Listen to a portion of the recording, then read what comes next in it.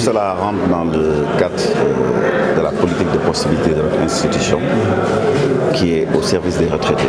Donc nous avions fait l'étape de Durbel, de Kaolac.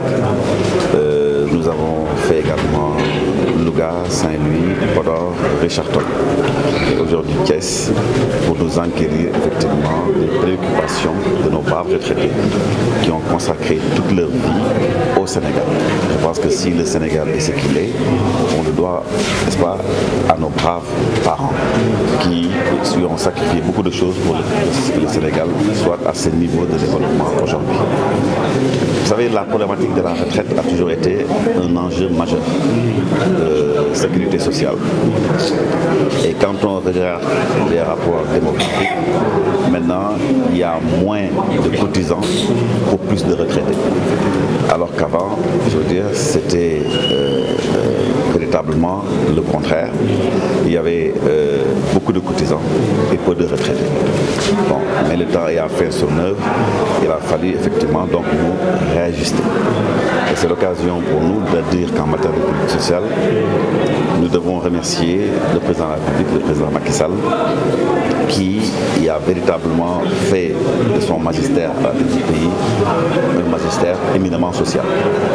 Parce que c'est avec son soutien et sur ces orientations que nous avons instauré la pension minimale. C'est une grande première, je dirais, en Afrique, qui, permet, qui a permis maintenant de faire en sorte que les pensions de 6 000 francs ou de 9 000 francs ne soient plus que des souvenirs.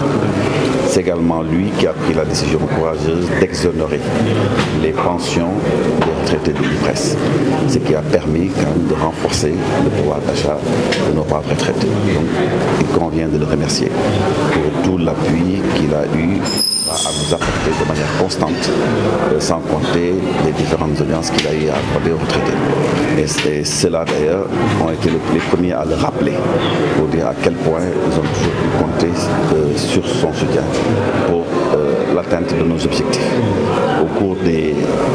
ces dernières années, nous avons augmenté de plus de 50%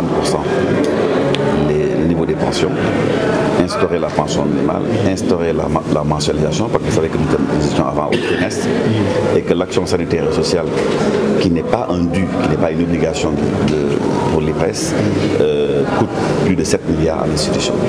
Le Sénégal est le seul pays membre de la CIPRES où, en plus de la pension, on en charge sur le plan sanitaire et social le retraité, voilà, prise en charge dans les hôpitaux et les médicaments qui sont donnés gratuitement par l'institution. Donc nous sommes satisfaits globalement de notre visite à Thiès. Euh, les retraités, par la voix du président Elage Oumar ont exprimé leur vive satisfaction.